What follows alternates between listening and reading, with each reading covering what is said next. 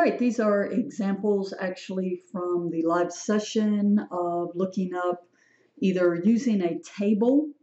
Okay, so in this case, I looked in a z table and found the z of 1.27 is 0.8980. Um, surprisingly, I actually prefer looking up in a table than Excel because I always seem to forget the formulas in Excel. But remember when you're looking in a table, if you're looking for the area to the left of your z value, that's exactly what you see in the table. If you want the area to the right of, which would be greater than, that would be 1 minus that value. Why 1 minus? Because the entire area has to add to 1 or 100%. So you can do this in Excel with the norm.dist.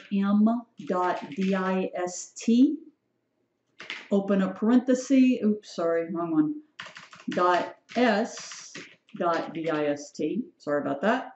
And notice here it says returns the standard normal distribution, has a mean of zero. So in other words, this is the probability value from the table. I open my parentheses, it wants my z value, so I click on 1.27 comma, cumulative says, do you want to add up all that area? Cer oops, certainly I do. So I say true. And then I press enter and I get the same answer that I got by looking it up in the table. Um, you could just do one minus that value, but sometimes you may not want to even be bothered. What if you're just looking for the probability that it's greater than? So you could just do equals 1 minus and then type your formula in again. So the norm.s.dist, the z value, and once again, I want it to add from the greater than all the way out to infinity, which is the same as 1 minus the less than value. All right, sometimes you're given an area and you need that z value. So Excel will do this for you, or you could look up and find in, within the table, remember these are four digit values, so you could look up and find 0.9500 from the table, or Excel has the equal norm dot s dot inv for the inverse, and now you put the probability in, close your parentheses, and that tells me what that z value would actually be. All right, then these last two examples differ in a very small but important way. If you have information, okay, you have an actual data value and you want to find the probability that this data value either falls less than, okay, some, some particular value based on a mean and a standard deviation, or greater than. The only two differences here is this first example, you're not given a sample size, okay? So in this case, we're going to actually use the sample size. This one up here, you might say, yeah, I am. I'm just telling you in general that um, it carries a maximum of 16 passengers. This one, we're going to actually use it. So you can see the difference in the formulas. So Unfortunately, you can't just tell Excel to give me my actual Z. So what I would do is I would go ahead and type in this actual formula.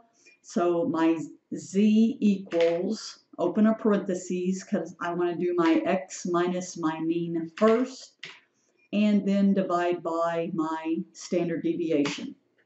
So that gives me my z value, and then I do the same thing that I did up here to find my probabilities. So this would be norm.s.dist. I'd use my z, and I would say true. And in this case, I am going to do just 1 minus that value since I do have the greater than there as well.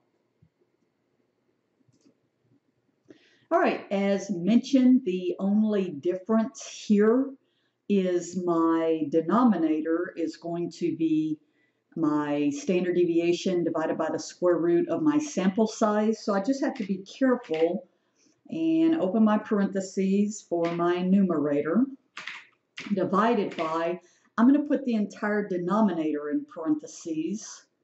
So my standard deviation over the square root of my sample size. And as you can see, this makes certainly a much bigger difference, okay, in my z-value. And once again, I will use my norm dist, my z, and I do want this to be cumulative. So as you can see, which, which would make sense, and let me do the 1 minus this value, that if I'm dividing, so notice the difference here. Let's, let's say we're looking at the probability greater than. Look how much larger this value is. Well, if, if you think about it, why was the z value, okay, why did this end up so much larger? Is notice that when I'm dividing out my square root of my sample size, that's making my standard deviation, the denominator, smaller, right? And so when the small the denominator is smaller, then the numerator is going to actually lead and be a larger value. But once again, you're free to use the tables, which I tend to, uh, to look up the z values in the tables, or as you can see, Excel will do the work for you.